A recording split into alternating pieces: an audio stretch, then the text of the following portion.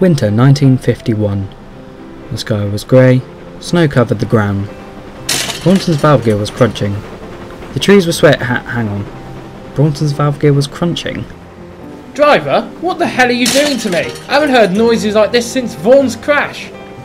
I'm doing nothing. It's your stupid valve gear. Why can't you have normal valve gear like every other engine ever? Don't blame me, blame Mr. Bulleid. Anyhow, however much you complain to me, I won't be listening because I'm in unbearable pain. We'll stop at the next station and I'll take a look.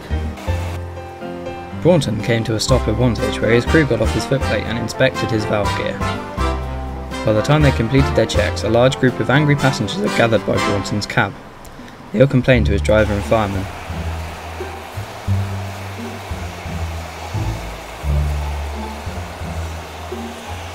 This has happened once too many times this week. May I suggest using another locomotive? One that won't fail every five minutes? One that'll actually run at some sort of speed that means we can get to Stoborough this decade. I don't see the point in building that extension to Fort Stomuth if your main express engine isn't even guaranteed to get there. I am well aware that this locomotive is obviously not up to standard, and I can only apologise. Braunton's driver kicked his casing. Ouch! However, I am happy to say that I can reveal to you now that Braunton here is to be rebuilt. Excuse me? Shush! What does that mean? He'll be rebuilt to become more reliable and stuff. And stuff? You don't sound very confident about that. Oh, I can assure you that what I'm saying is 100% False? My stupid driver lied through his teeth to the passengers. I can't believe it. They all think I'm off to be rebuilt to a more reliable design. Of all the bumbling fools. And to add to that, I'm still in unbearable pain. Perhaps they should think about rebuilding you. I mean, look at you. Pretty ugly. You're not helping. I always thought that your chain driven valve gear was a pretty silly idea myself. What's wrong with conventional valve gear, eh? Certainly less expensive. Think of all that lubrication oil. I can't help the way I was designed. Gah! Lord Stovell had been working in his study at his newly built summer house outside the new Stoborough station. He had the window open and could hear the raised voices of Braunton and the other engines as they argued about their valve gear. After a while, he couldn't take it any longer, and he strode out of his house and down to the sheds. He arrived, and the engine suddenly turned respectfully silent. What the hell is going on out here? I'm trying to complete some very important paperwork, and all I can hear is you arguing. These two seem to think my valve gear is a silly idea and it's not worth the trouble. Well, it would be fine if it didn't cause you any pain. Pain? Is something the matter, Braunton? Well, you see, sir, I. I. Braunton has been having pains in his valve gear for a little while now, and today it culminated in him having to stop at Wantage on the flyer today. Stan, you weren't going to say anything! Is this true, Braunton? If it is, this is a very serious case. Is there anything else you might want to tell me? I'd tell him what your driver said to the passengers if I were you. Oh, yeah, my driver, the bumbling idiot, made up some stupid story about how I'm going to be rebuilt to be more reliable. He said that, did he? He and I will have words. For now, you will be pulled off the Stovell flyer. Stan can take it for the moment. I'll have to see what I can do. Can you help Arthur by taking workmen down to Fort Stomuth to help finish the work off down there? You can run at lower speeds, so you shouldn't have too much of a strain. Yes, sir. With that, Lord Stovell walked away back to his study, an idea planted in the back of his mind. When he was gone, Stan burst with excitement. Ha! I get to pull the Stovell Flyer in your face. Oh, shut up. In your face. You can have my night mail if you're looking for more prestige services to steal. Nah, you're alright. I'm happy with my sleeping pattern at the moment, thanks. Nah, never mind. Right, you horrible lot. I'm going to sleep before you guys wrangle me into swapping services too. The other engines laughed as Arthur fell asleep. They chatted a bit more before also falling asleep.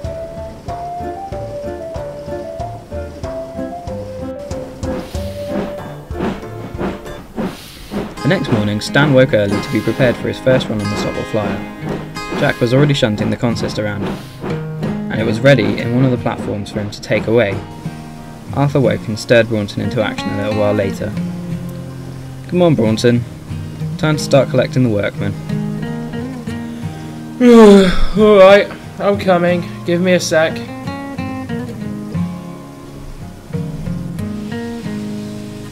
Arthur hurried away to the freight sidings where he picked up a long train of trucks and briskly started away towards Fort Stomer. Braunton ran around to the head of his train that Jack had prepared for him. Workmen all climbed aboard and he started off. He'd never been this way before. He was relatively new, and the only engines that had been this way were Arthur and Earl. The line was not open for public use yet, but as he climbed into the mountains, he passed signal boxes and saw some stunning scenery. He was stopped in Fulbrook Station where more workmen hurried on board the train. He continued through the tunnel and then descended the long sweeping bank towards Eldridge.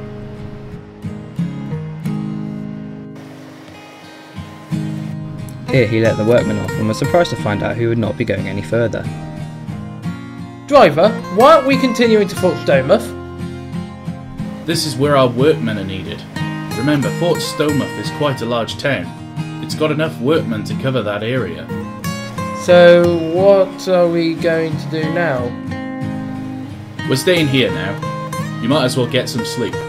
Me and your firemen are heading up to that cafe over there for some breakfast. We'll let you know if anything comes up. I think I can deal with that.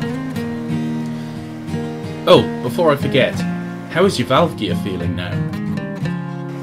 Surprisingly okay. It was a bit painful earlier coming up from Stoborough to Fulbrook, but it's alright now.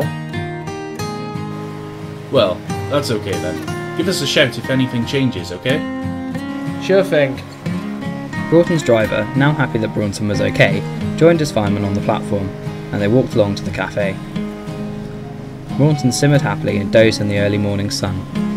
He was only disturbed by Arthur heading back up towards Stoborough with his empty trucks later in the morning.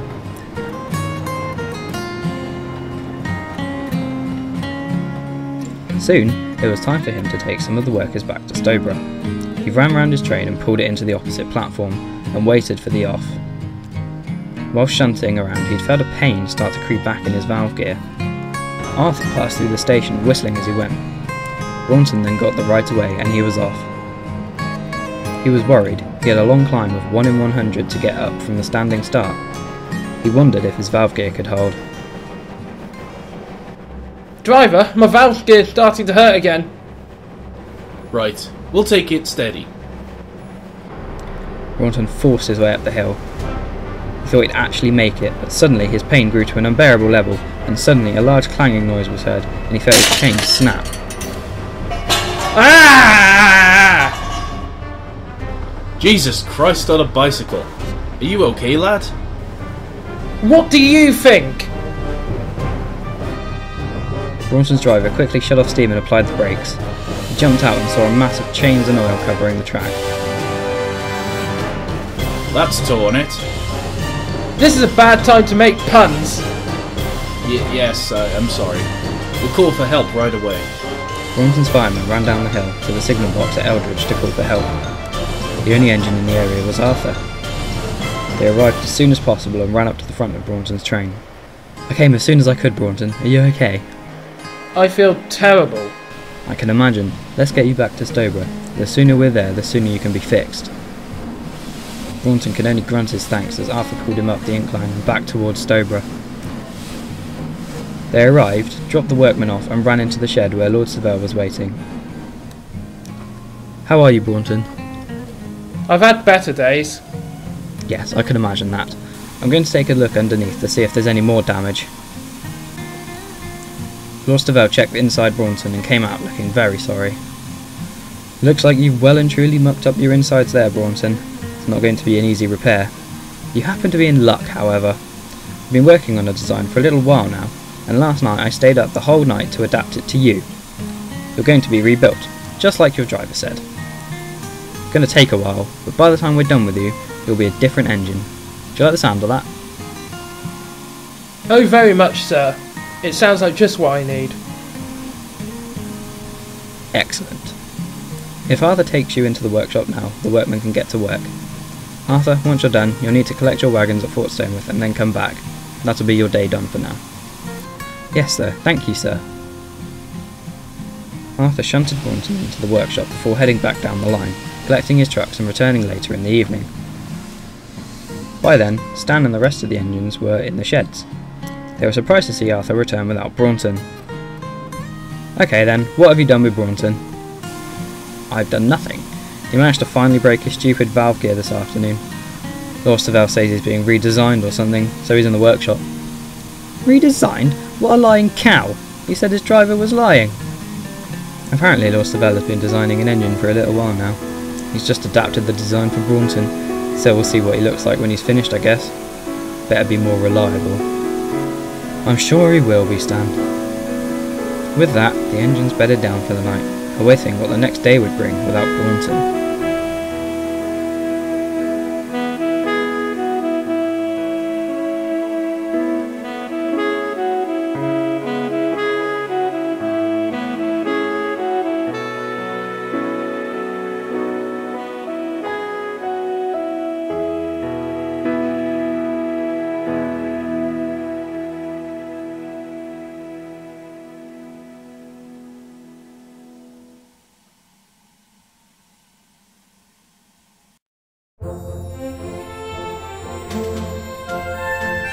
Música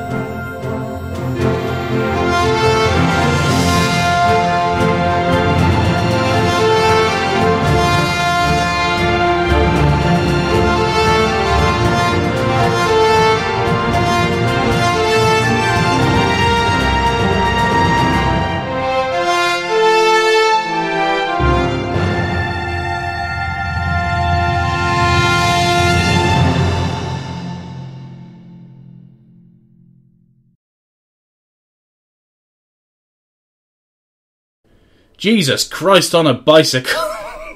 what the fuck? Sorry, Andy. Um, au revoir.